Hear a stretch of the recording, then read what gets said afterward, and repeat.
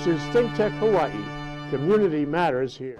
Okay, we're back. We're live. It's uh, Trump Week. It's a reunion of the three of us, Tim Apicella and uh, Cynthia Sinclair and me. And uh, it's 11, uh, the 11 o'clock block on a given Friday, our favorite time. And um, I was having a conversation with one of our other guests a minute ago, and I want to bring that to your attention, you guys. We have a lot of ground to cover. We haven't been Right. together as, as a threesome in a long time. You know, you got all these great guys on CNN and uh, MSNBC and all that telling us it's like getting a, an information transfusion, uh, you know, like every every weekday. Anyway. And you know, and, and what happens is uh, they they dwell and they repeat. I have to say, they repeat the news over and over again, and they put the headlines down on the little lower third thing, and Right. they don't have enough time, nor does their format allow for them to really cover everything that's going on. So what we are getting is the raw meat, which is you know worth knowing about, of course, but we're not getting the implications. We're not really connecting the dots. And one of our objectives on this show is to connect the dots. Right. And I, I wanted your comments about that. I mean, A, am I right? Is he right, this fellow I talked to? And B, what can be done about it? We're actually having a show with the School of Journalism uh, next Tuesday about this very subject. Um, so the question is, is, is the press missing out here? Is the press able, in this time, are we able to absorb all the information we need to know about um, to follow the mishegas, that means craziness, in this administration? Thoughts? Yeah, um, I have one. And the fact is that the media does follow the bright, shiny object that Donald Trump waves in front of the media. Right. And it, you know That's know, manipulation. and that- That's what we've I talked believe about- too, yeah. we've talked about previous shows that there's a distraction on the distraction. And of course, what is the major thing he's trying to distract from? We all know it's the Mueller investigation. Right. So, but his distractions are far and many. So the media can only cover so many of these, and then to properly analyze and connect the dots is something that really isn't quite getting done. But uh, you can't cover all this stuff. Um, you just can't. If It's you, had, much. if you had your druthers, you know, if we here at ThinkTech would create a format that would cover this and try to do better, what would you do? How would you handle that? Not easy, huh? No, not easy at all. Yeah. You have to go from so many different sources, I think, is the only way to do it. So when I'm trying to, you know, research one of the stories they're putting out there and see is there really any credibility to this, um, I just go to the Washington Post, the New York Times, I go to all the, you know, main newspapers. And, and they're a little different, and they put a different spin on things Well, maybe- than just maybe watching the news on TV. Maybe you divide it up to kind of the way we like to do on Think ThinkTech, and you say for X minutes we're going to cover the, the shiny objects. For Y minutes we're going to cover the implications of that. For next, uh, you know, the public reaction uh, on both sides of the aisle, and so forth, and just divide it up as a disciplined matter. I think that's what PBS does. They'll, Yeah. they'll, they'll dedicate 15 minutes to one news story. yeah. And then they'll hit some of the you know Yeah. the other less important, well, equally important but less uh, publicized news stories of the day. Yeah, well, however, however we do it, however anyone does it, um, I think we can't be distracted, as you said, by the shiny object. Right. We can't be manipulated by him because that's what he does. Right. And he, I mean, it's, it's really all the work of a dictator, really. But after two years, I think is. they're catching on. I think the readers are catching on, the Yeah. viewers are catching on, Yeah. and certainly the those journalists that are covering the media, they're recognizing an obvious shiny object and they're calling it out. Yeah. As a shiny As a object. shiny I- object. Yeah. Nancy Pelosi's catching on too. Well, I think it, it all changed too with this shutdown. I think there was a real big, you know, paradigm shift in people's thinking Well, you're, about you're how using he's. the past tense, Cynthia. Well, We, we may have one in two weeks' time. Actually, two weeks from today, I think. Um, it's coming fast, and and yesterday, yesterday he uh, disabused himself of the of the Joint uh, Appropriations Committee, and said, "I don't care what you do. If you're not going to put a, a wall in, I'm not going to listen to any of it." This is a horrendous statement, it is. and we're going to be back to where we were, or you're going to try his national emergency gambit. Well, now see, that's the thing that scares me the very most. Because, you know, the National Emergency Act was um, put into effect in what, 1978, I think it was. And, um, and it's not very specific. And it gives broad scoping power to, to the president and completely negates Congress. It gives like 120 some odd laws that he is in control of. That's a lot of It's gonna be different programs and things. It's in And I, well, now and then look, that was my next thing is, and now look what the Supreme Court But that's is. what he wants. Exactly, that's what he wants because I mean, his it- Supreme Court will probably support him. They're all in favor No, of. it's not even that. I don't believe it's even that. If you look at this chess game, remember two weeks ago, last week, three weeks ago, I said he really doesn't want to resolve the wall issue because that's where he gets his support. That's the emotional issue that Donald Trump was elected on, one of the reasons, and that's where he gins up his support. Right. And he knows he can gin him up. So why would I want to solve that? So he doesn't want to solve it. But what he's going to do, in my opinion, and my my theory is that he's going to pull a national emergency. It's going to go immediately to the court. It's going to get tied up. He's going to step back and go, see, I'm trying to protect America, but here's the Ninth Circuit once again trying to get in the way of me protecting America and all Americans. And he's going to go on and on and on how he was to his base and those that follow on top of the base, um, how he was the Right. defender of safety and keeping those people out of the country. And so he's we're playing right into this chess game of his. I agree. It's gruesome. And the fellow I talked to earlier, which had a very good point on this, is that if, if you had uh, Vladimir Putin running for uh, president in 2016, uh, and he had won in this country, the, the difference in policy would be uh, minimal. Um, because what, what's happening is Trump is doing everything that Putin would do. Or that he has already creating done, disturbances and disruptions, right? bringing people apart, making uh, making every all the groups hate each other, Right. Uh, wrecking NATO, uh, confusing people on the fact, disinformation. Getting That's rid of all of our invention. allies, or making them angry anyway, so they don't want anything to do with us anymore. Yeah. Well, All of those things, So, uh, separating us, diminishing our isolating intelligence us. agencies. I mean, Yeah, that's God. the biggest one. I Let's think. dwell on that for a minute. Uh, he said he didn't agree with the intelligence agencies, that it was fake news. It was this yesterday, the day before. And um, so the question I put to you, you're going to love this question, is what is he basing that on? Does he Yeah. have other intelligence agencies that he listens to? Does he have some advisors there? I don't know who they are in the White House that tell him um, about intelligence matters that are that those that they're more credible than all the intelligence agencies No, speaking I don't think so. Or has he got a pipeline, a stovepipe, as Rachel Maddow says, a stovepipe to Moscow to Putin? I mean, where is he getting the information on which he can deny the conclusions of all of our intelligence agencies? I, I believe that once Donald Trump has something in his brain, and it doesn't matter if it's five years ago, 10 years ago, two decades ago, it never changes. Mm-hmm. It's stuck. That's called ignorance. Ignorance, yes, by choice. Yeah, so what, what what are the implications of that? If you don't listen to your intelligence agencies and you hear another drummer, another drummer somewhere else, maybe far away. Well, you've um, compromised every single one of our FBI agents that's out there in the field.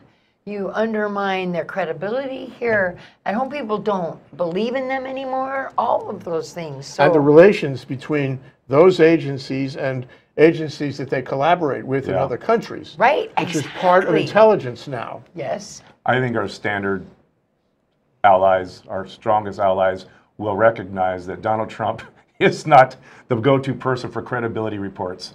They'll, they'll know our agencies and the work they've done and the dedicated professionals that do that work. And so when those those individuals are interacting with other, you know, other agencies, be it in Britain or France or wherever, they're going to know that what we say at you know behind closed doors will be credible. I don't think he's going to compromise um, those strong allies we have. Maybe the less you know the lesser uh, close allies that we have, maybe they will be suspect of anything that's said from us from here on in. I don't know. Well, you know, there's there's this thing about um, third-party observers. Uh, yes, uh, they laughed at him at the UN when he made a stupid statement. He said, "I've done a better job than any president that The we've best ever had." one That's ever, yeah. Really, I would have thought he made he was the worst president, but that's just me. Uh, um, but then you know you have so so they laugh at him, but at the same time, and I, I, I have to wrestle with this. At the same time, we elected him. We, Yeah. the country, we, the process, we, the great democracy, the great hope of the 20th and the 21st century. We, the ones who set the world order after World War II, we elected this guy. We have to be judged by the person we elected. So while they laugh, we also lose credibility as a world leader. And- And it's very sad because our destiny is linked, however you put it, to him. And so the question, and this is a good segue actually, the question is uh, when, when you say that they're laughing at him and they don't treat him as the real deal, everyone in that, in that analysis is assuming that he's gone soon enough in 2020. They do assume that, I think. My hope and my prayer is that he's impeached long before then, but Yes. um, but that he's gone in any event by 2020. And uh, the question I put to you is, uh, how likely is it that he will be gone? Uh, is that a foregone conclusion? He will Oh, be gone. How do you feel about that? Not at all. Yeah. This will be a tough, hard slog. It, it know- is not a gimme. It is not a no-brainer. Um, the Democrats are going to be on, have to be on their best game to actually put up enough quality candidates to be the nominee for the Democratic Party to actually take him on. What do So you don't think there'll be any Republicans taking him on? I hope so. I hope. I think I Jeff hope John- Flake. I Jeff hope- Flake has I definitely p- been getting himself ready. I for hope that John spot. Kasich comes to the table There you go. of Ohio. What about the young Hmm. upstarts? I think this is um, an introduction to future campaigns. I think this is a way to get name recognition for the 20, you know, 2024, 2028, um, you know, presidential campaigns. I think it's a great way to get your name out there and, and have, you know, I, I don't, not to win. not to win, no. I think, you know what, to go back a little bit about what you were saying, um, how it reflects on the whole country, and it does.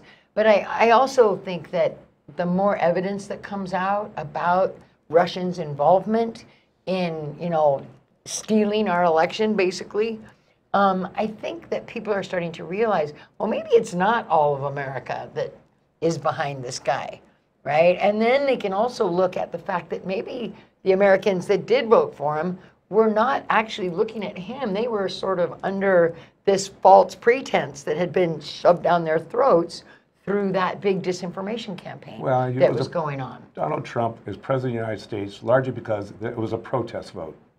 A protest vote because the establishment wasn't getting anything done.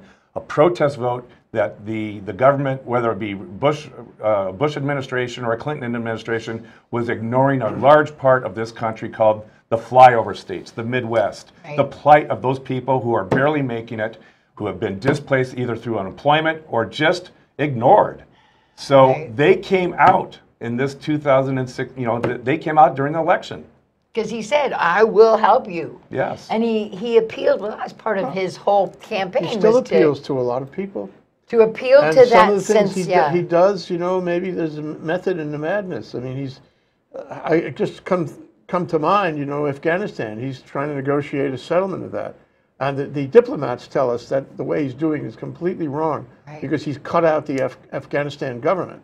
So at the end of the day, when he, you know, when he makes a deal with the Taliban, um, that's not going to be a deal that binds the Afghanistan government. They'll be, they'll be back in uh, in chaos immediately. So there's no benefit there. But he is trying that. Um, what else? Uh, oh, he's uh, he dropped the uh, non-proliferation nuclear Oh. non agreement uh, today, Right. I guess. Is that it a today? distraction? Yes, today. today? Is that, is that a distraction, Jay? Oh, that's a, that's a, I think, sorry, I'm going to I'm going to answer this too, because I think it's more than just a distraction. I think it is a distraction, but I think it's more than that too. He's got to say, look, I'm tough on Russia. Remember, I told everybody I'm tough on Russia.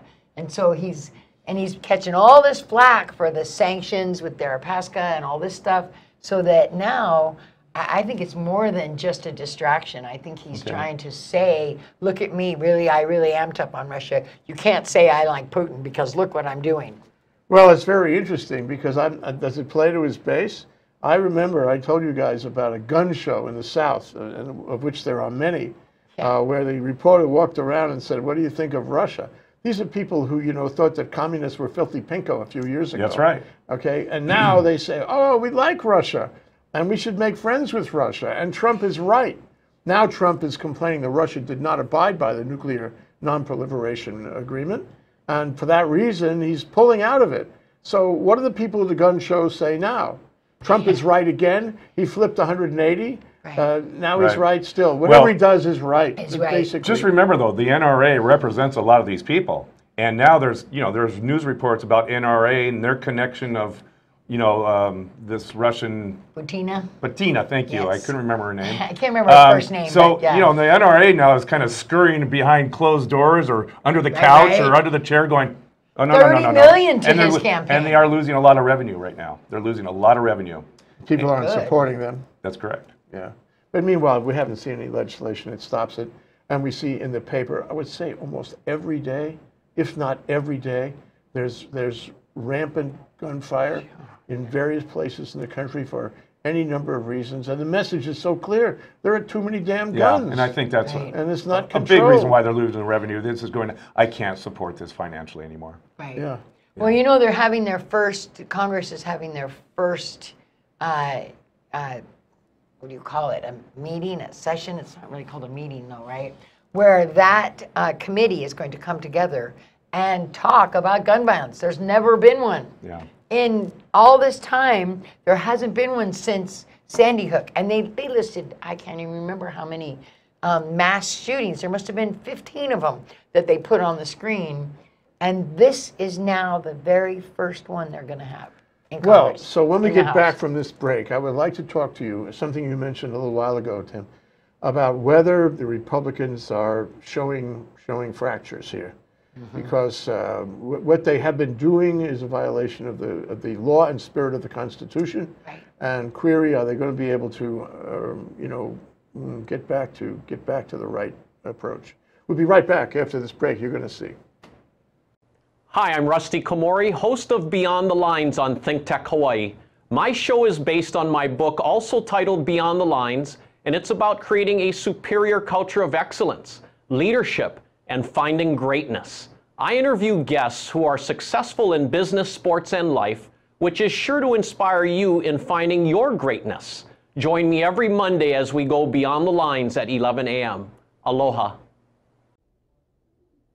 Hello, I'm Dave Stevens, host of the Cyber Underground. This is where we discuss everything that relates to computers that's just going to scare you out of your mind. So come join us every week here on thinktechhawaii.com, 1 p.m. on Friday afternoons. And then you can go see all our episodes on YouTube. Just look up the Cyber Underground on YouTube. All our shows will show up, and please follow us. We're always giving you current, relevant information to protect you, keeping you safe.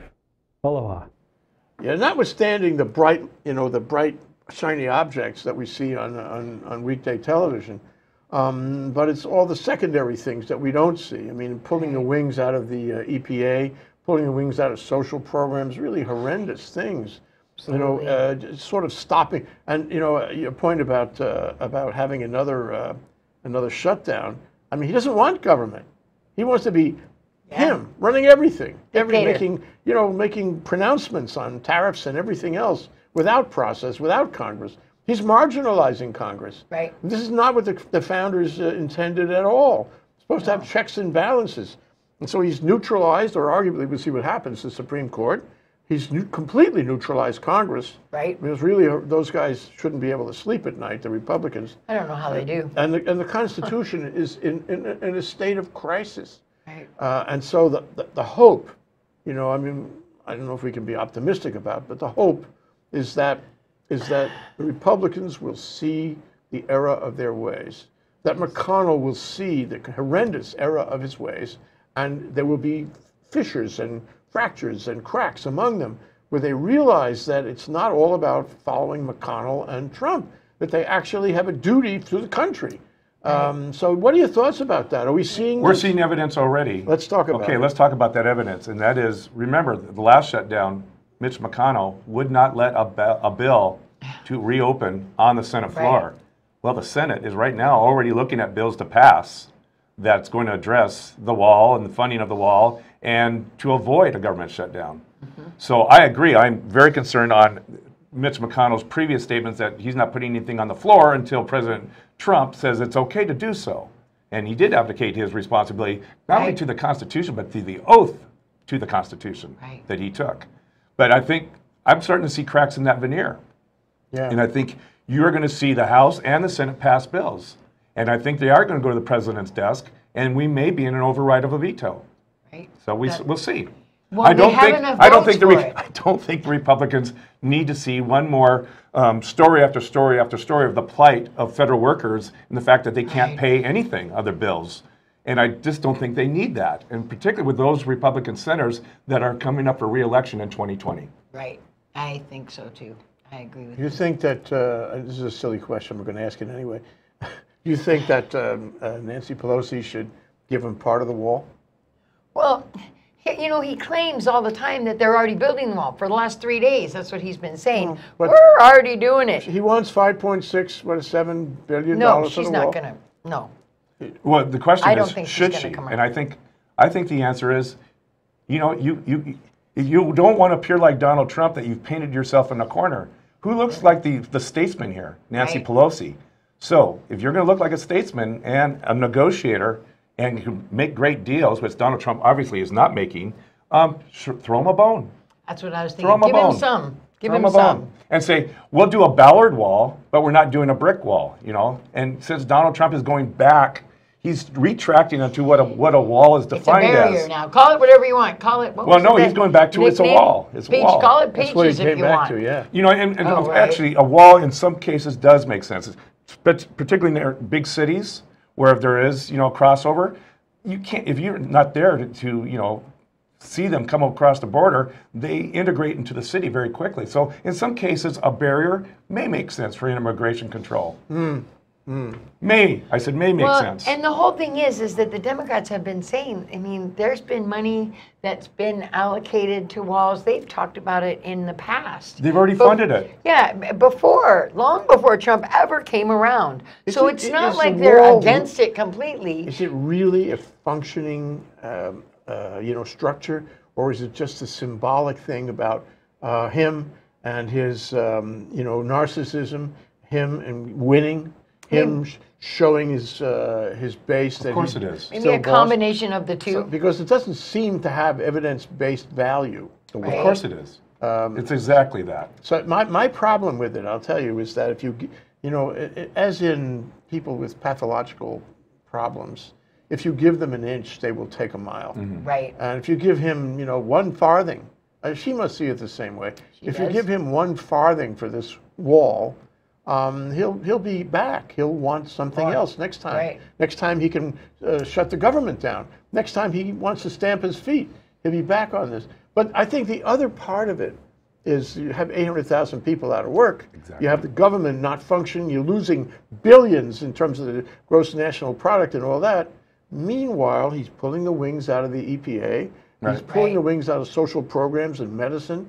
He's, he's doing Right. terrible, terrible, awful things to immigrants, terrible things, and he's capitulating to Putin every time he gets a chance. Right. So, and he's trying to shut down Mueller. I mean, all of these horrendous negative things.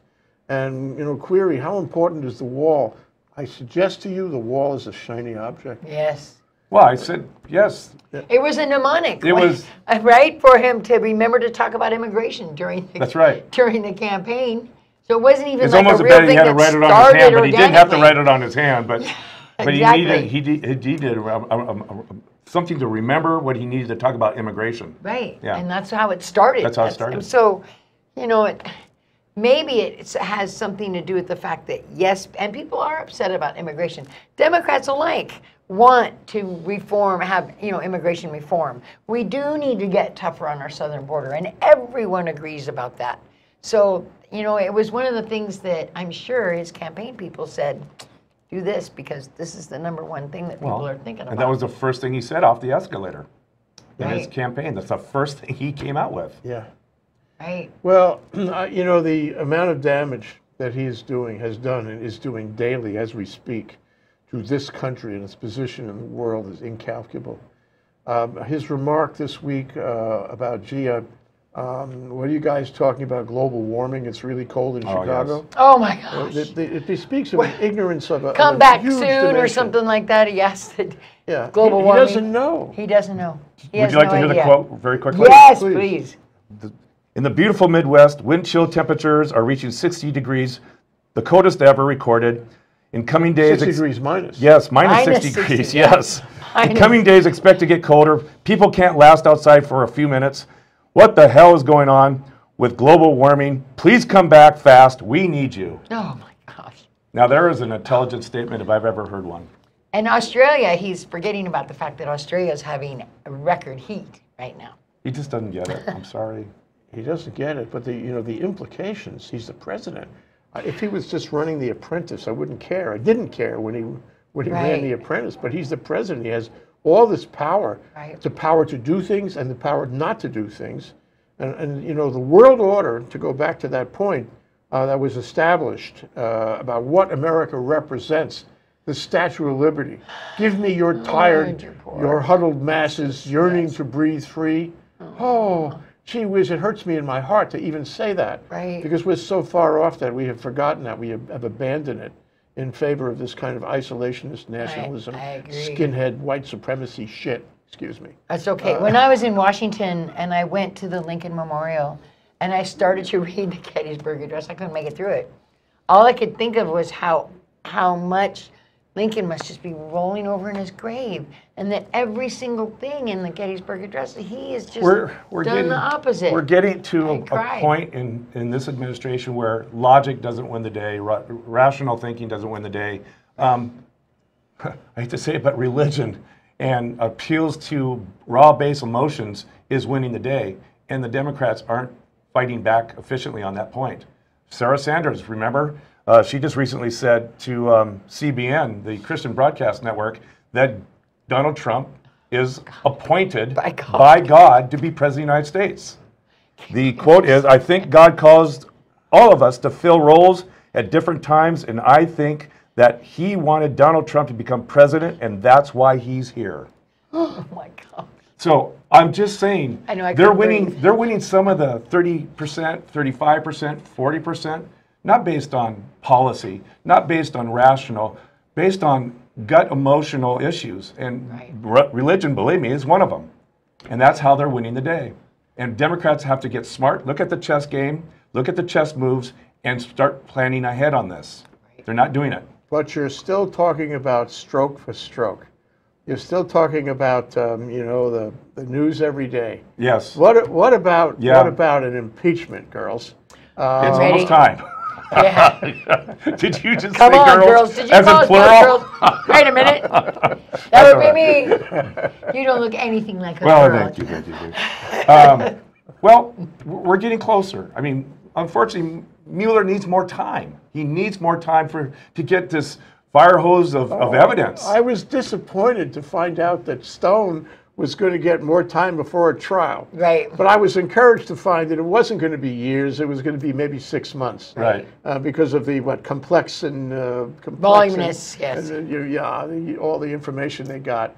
Then I suspect that's a, probably a true statement that it is complex. Two terabytes. yeah, there's a lot This of is Think Tech. documents This is there. Think Tech Hawaii. Most people who watch Think Tech Hawaii have a, a broad-based idea of how much a terabyte is. It's, It's a a lot. lot of material. It's a lot of It's a material. lot. And I don't think that uh, Mueller is, is kidding when he says he, he wants to look at it. Yeah. Because in there, connect the dots, and you're going to find A, that Stone was really bad, and B, that he was really connected uh, to, to Trump. Right. Uh, and, and Trump should be concerned about that. And I suppose I would ask you here, we're running out of time, you know, how ideally, optimistically, I mean, if you don't like Trump, um, how is this going to unfold, if, it, if I at all? I think the Democrats in the House have all, I mean, the Intelligence Committee, the Ways and Means Committee, we got all kinds of people meeting, and that's what they're meeting about. I mean, Adam Schiff was just on TV last night talking about how they are subpoena all, all the witnesses that came through that they didn't get to really talk about or talk to. They did not get to question them like they wanted to. And then the Republicans wouldn't allow all kinds of stuff to happen. And now it's going to happen. According to Adam Schiff, it's going to happen now. So that's one of the things, I think. So it's not just uh, Mueller doing the investigating now. We've got Congress doing some Hope so. investigation Well, also. Hope so. We need to know that the American public gets access to this information Yes. because if they don't become outraged and engaged and then start calling their senators, the Republican ones, and saying, do something about this, um, Yeah. it's going to be business as usual. And the word impeachment will not occur. And as you said, it shows a go, you know, there's nothing worse than an impeachment, but a failed failed. Failed impeachment. impeachment. No And so unless the kidding. American public gets engaged, how do they get engaged? The journalists have to bring that information to the American public. Right. Right, they do. Not just the shiny objects. Right, Rachel they- Maddow is really good about not um, just reporting on the shiny objects. And they she have to goes beat in that depth. drum. Yes. We all have to beat that We drum. all have to beat the drum. and we I have to be, uh, you know, analytical in dealing with all the email. I don't know about you guys. I get all this email all day. about sign here and give me five dollars there and all Oh, yeah. that, and figure out how we can really help. can we We really here in? Hawaii, how we can really help. Some people in Hawaii go to the mainland and participate in campaigns in the mainland. Yeah. Right. Some people, you know, write columns for mainland newspapers. Who knows what? Um, you know, but we all have to. The whole country has to, and, and maybe the Republicans will see the error of their ways. Maybe we'll have that fracture in, in the Republican Party. I think it's happening, Jay. I, I hope so. I do too. And I think we still But- need to be kind of diplomatic about all of it too, Well, as far as you have to how remember we it to talk be to smart people. about it because and yes, Trump smart. is going to fight like hell. oh, he yes, is. he He's going to fight in every way. And the surrogates Every are going to fight like hell. surrogates and So- base Right. and all that. Exactly. So it's a long, it's, it's, it's a long operation um, to impeach him. Yeah. But I think that has to be the mission. I think so too. Yeah, yeah. Okay, want to come back and do this again next week? Sure. Absolutely. All right, I knew you'd say that. I'll bring my quotes and my notes next time. Tim sorry. Apicella, Cynthia Sinclair, thank you so much. Thank you for having me. Trump Week. Wow. Thanks, Tim. I'm so glad we do this. Jay. Yeah.